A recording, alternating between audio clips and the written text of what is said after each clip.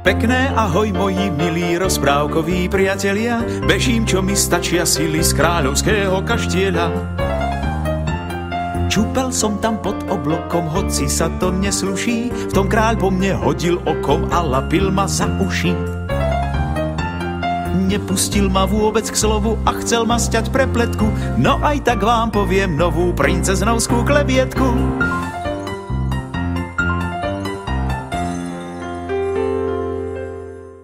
Učená princezná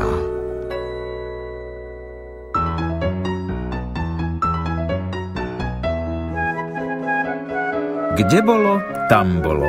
Za troma horami hrozienok, za troma vrškami mandlí, vyskočil z pahreby plamienok. Povedal som samozrejme, dobrý večer kamaráti, knože nás trocha zohrej a s rozprávkou k nemu sme sadli. Počúvajte zakov.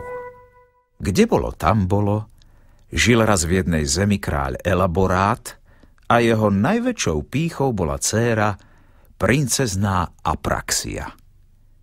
Strážil ju ako oko v hlave, nádherne ju obliekal, krmil najvyberanejšími jedlami a od malička jej vravel. Céra moja, ty si najmúdrejšia princezná, akú kedy videl svet. Ty si vlastne taká múdra, že to svet nevidel. Princezná chúďatko pokývala hlávkou a povedala Áno, ja som najmúdrejšia medzi na najhlúpejšími. Nie, zľakol sa kráľ. Medzi na najmúdrejšími. Princezná prikývla. Áno, som na najhlúpejšia medzi na najmúdrejšími. Zadrž, zvolal kráľ. Ty si nanaj medzi nanaj, jasné? Jasné, povedala princezná a kráľ sa upokojil. No neupokojil sa na dlho. Keď princezná trocha podrástla, rozhodol sa, že ju musí učiť najúčenejší muž kráľovstva.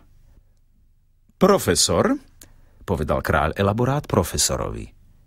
Moja dcéra je síce múdrejšia ako ty, ale dovolujem ti, aby si ju naučil písať, čítať a rátať. Koncom každého týždňa jej dáš vysvedčenie so zlatou pečaťou. Profesor sa poklonil a dal sa do učenia. No princezná mala akúsi čudnú hlavičku. Nič jej do nej nechcelo liesť. Po týždni napísal teda profesor prvé vysvedčenie a na ňom samé 5, 5, 5. Kráľ pozrel na vysvedčenie, potom na profesora a skríkol. Ha! Ty maloverný, čo si to tu popísal? Profesor sa zatriasol ako osikový háj. Najjasnejší kráľ. Princezná sa vonkoncom nič nenaučila. Vraví, že dva a dva je sto. No a? Povedal kráľ. Ak to princezná vraví, tak to bude určite pravda, lebo moja apraxia je najmúdrejšia pod slnkom. A ty, biedný červík, budeš synom smrti. Keď prvý profesor takto zle pochodil, zavolal kráľ najslávnejšieho doktorisima. Doktorisimus však skončil takisto. A potom ešte ďalší a ďalší a každý bol hneď synom smrti, lebo ani jeden nemohol dať princeznej lepšiu známku ako Peťku. Nakoniec nebolo už v kráľovstve ani jedného profesora, ba ani výpomocného učiteľa. Vtedy dal kráľ znovu prehľadať celú krajinu a v starej jaskyni bol objavený učený muž menom Habakukus. Privlečený súd na kráľovský hrad hneď začal skúšať princeznú. Povedzte mi, vy stelesnená múdrosť, opýtal sa Habakukus princeznej, Koľko je 3 a 3? Apraxia vyvalila očká, chytila sa za uško, pokrútila si ho a vraví. 3 a 3 je milión. Učený Habakuku spadol zo stoličky, no potom sa zodvihol a vraví. Hm, no to bol veľmi ťažký príklad, hneď si to prerátam. 3 a 3 je habriky, šibriky, riziky, miziky. Fakt. 3 a 3 je milión. A hneď aj utekal ku kráľovi a vraví mu. Pán kráľ, Princezná je múdrejšia ako všetci počtári. Oni doteraz vraveli, že 3 a 3 je 6. Aj mne sa to zdalo byť málo a preto súhlasím s vašou najmúdrejšou dcérou, že 3 a 3 je milión. Žiadam vás, aby ste to takto dali opraviť vo všetkých kráľovských počtovniciach, lebo je to najmúdrejšia múdrosť, akú som kedy počul. Kráľ sa radosne usmial a vraví. Samozrejme, učený Habakukus. Opravíme všetko tak, ako povedala princezná. Tak sa to budú učiť aj školopovinné dietky. A kráľ dal opraviť počtovnice. Na druhý deň skúšal učenec princeznú z prírodopisu.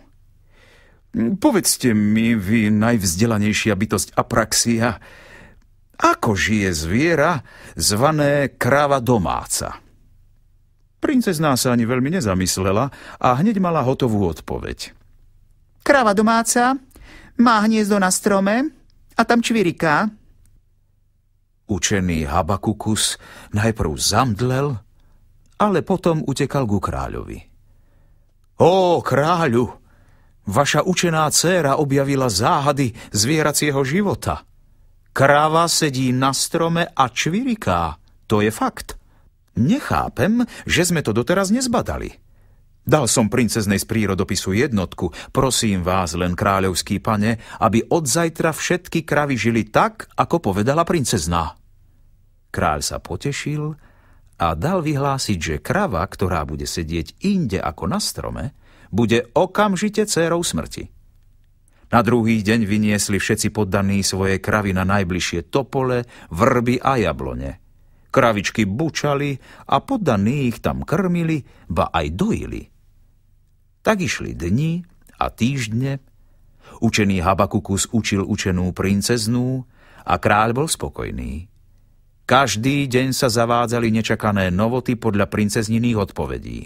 Prestali sa písať bodky, čiarky, mekčene, meteorológovia sa hádzali do mora, pretože princezná vyhlásila, že meteorológ je predpotopný žralok.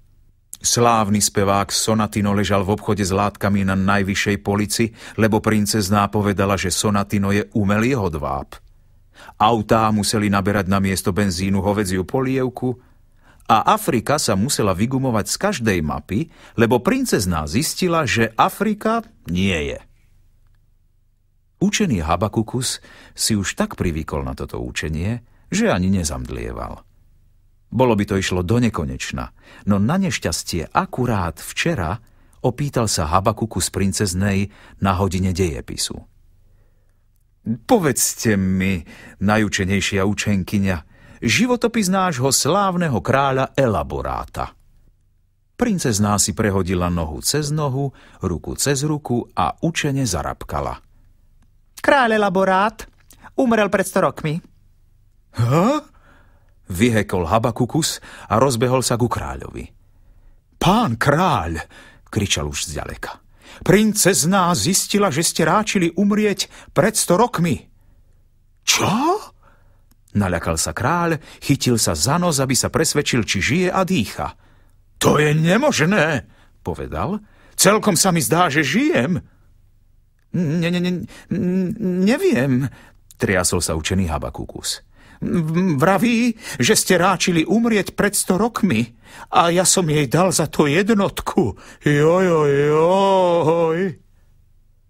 Kráľ horko zaplakal rozlúčil sa s poddanými aj s princeznou, aj s učencom a povedal Opravte vo všetkých učebniciach môj životopis. Napíšte, že som umrel pred sto rokmi.